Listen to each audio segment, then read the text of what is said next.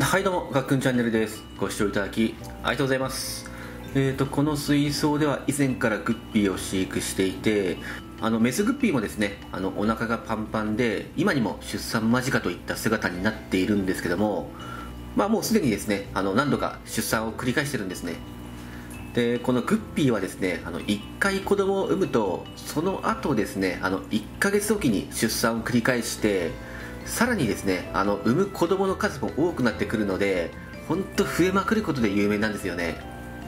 まあとは言ってもあの生まれたばかりの赤ちゃんグッピーは親に食べられる危険性があるんですよね。もう本当ですねあの産んだ自分の子供を追いかけ回して捕食することも珍しくないのであの水槽内に水草をいっぱい入れるなどしてあの隠れ家を多くしないと、まあ、この稚魚の生存率はかなり低くなってしまうんじゃないかなって思いますね。まあそれかあの確実に稚魚を獲得するにはですねあの産卵ケースだったりまたはサテライトという、まあ、出産間近のメスグッピーを隔離するあのアクア用品を利用するのが、まあ、一番確実な方法かと思います。でこの産卵ケースとこのサテライトの仕組みを簡単に説明しますとまあ、こんな感じででここに仕切りがあって上の方に親グッピーが入れるところがあってで子供を産み落とすとこの稚魚しか通れない隙間を通って下に行ってで親とこう分けることができてでこれで食べられる危険性をなくすといったものなんですけどもで出産が終わればですね親グッピーを元の水槽に戻してでこの仕切りを外してで稚魚をですねあのそのまま、まあ、ある程度大きくなるまでここで育てるといった感じですね。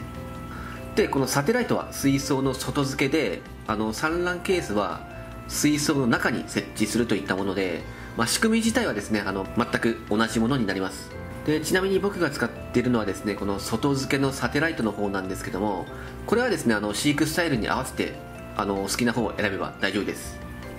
でこのサテライトだとかですねこの産卵ケースなんですけどもあのメスグッピーをですねあの隔離するときにあの何点か注意した方がいいところがあるので、まあ、その点について話していこうと思います。でどういった場合かというとあの、まあ、グッピーってとにかく増える魚であの1回子供を産むとその後1ヶ月スパンでまた出産を繰り返すといった感じなんですね。まあとにかくですねあの出産までの間隔がかなり短いんですよね。でさらにですねあのメスグッピーの数が多ければ同じ時期に出産する個体もいっぱい出てくることがあると思います。でそこであの出産間近のメスグッピーを複数ですね、まあ、2匹とか3匹といった感じであの同じサテライトだとか産卵ケースに入れると、まあ、絶対ではないんですけどもあのちょっと問題が発生することがあるんですよ。でどういった問題かというと、まあ、こちらでまあ、強い個体が弱い個体を一方的にあのフルボッコにすると。であとはですね他の個体が産み落とした稚魚を、まあ、他の個体がパクッと、まあ、やっちゃうみたいな、まあ、捕食してしまうということですよね。でまず最初のこの強い個体が弱い個体を、ま、一方的にフルボッコにする、まあ、ボコボコにしてしまうということなんですけども、ま、これが一番の問題だと思うんですよね。で僕これですね実は何度か経験があるんですけどもあの出産しそうなグッピーが複数見られると、まあ、たまにですねあの同じサテライトの中にあの複数入れることがあったんですよ。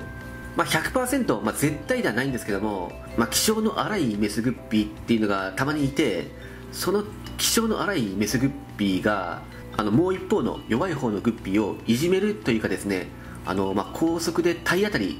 してるのか、まあ、つついてるのか分かんないんですけどもこのですねあのサテライトとか産卵ケースの角っこに、まあ、はめてボコボコにしてるってことがあったんですよ。でこれ見てあやべえなと思ってですぐにですねあの1匹あの外に出したってことがあったんですけどもあのグッピーはですね基本的には縄張り意識っていうのはあんまり強くないんですよね、まあ、強い魚っていうことが聞いたこともないしまあ、オスですらですねあのメスを奪い合うために争うってこともないぐらい、まあ、おとなしい魚なんですよね。ただですねこの出産間近のメスはちょっと神経質になっていてあの他の魚を追い払うってことがあのよくあります。でもしかしたらですねそれであの近くにいる魚をボコボコにしてしまったってことが、まあ、考えられるんですけども、まあ、ただこの気象の荒さに関してはですねあの個体差はかなりあると感じますね。まあ、通常ですねあの広い水槽で飼育している分にはですねあの全く問題はないんですけどもあのこのサテライトとか産卵ケースっていう狭い空間はですねまあ、弱い個体は逃げたくても、まあ、逃げれないんですよね。あのもう逃げるスペースがかなり限定されすぎちゃってますからまあ、それでこう端っこに追いやられて、まあ、ボコられるといった、まあ、事態に発展してるんだと思います、まあ、なのでもし一緒のサテライトだとか産卵ケースに入れるときは、まあ、入れた後に、まあ、しばらく様子を見て、まあ、何事もなければ大丈夫ですし逆にあのボコボコにされるようであればこれはかなり問題なのであの1匹ずつで、まあ、管理するなど対策を取るべきですね、まあ、それかですねあの1匹だけ残してあとは水槽に戻してしまうとか、まあ、対策した方がいいですね、えー、でそして2つ目の他の個体が産み落とした稚魚を、えー、他の個体がパクッとやっちゃうということなんですけどもこれはですね例えばサテライトだとか産卵ケースに、まあ、2匹のメスグッピーを入れていて、まあ、それぞれですねあのグッピー A とグッピー B ってことにしておきます。でこのグッピー A がですねあの産み落とした子供を近くにいたグッピー B がですね、まあ、すかさずパクッと食べてしまうといった感じで、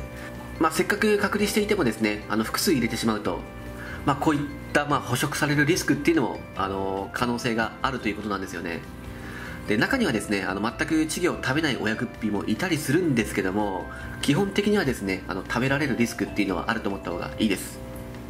まあ、といった感じでですねあの産卵ケースだとかこのサテライトっていうのはですねあの複数匹一緒に入れておいても全く問題ない場合も多いんですけどもたまにですねこのオラオラ系みたいなメスグッピーがですねあの出てくることもあって、まあ、弱い個体を一方的にフルボッコにする恐れがあるかもしれないっていうことと、まあ、一緒に入れても問題なくても、まあ、他のメスが産んだ子供を食べてしまうっていうことが起こりやすくなるってことですね。まあ、つまりですねあのサテライトだとかあの産卵ケースに複数のメスグッピーを入れておくのは、まあ、この2点のリスクが伴うという可能性があるという話を、まあ、この動画ではさせていただきました、まあ、グッピーはですねあのかなり増えまくる魚なので、まあ、あの隔離するときはですねあの1匹だけにしておいた方がいいかもしれないですよね。まあそのあたりはご自身の水槽の広さだとか、まあ、ろ過能力で判断していただければと思います、えー、といった感じで今回の動画は以上となります、えー、最後までご視聴いただきありがとうございました。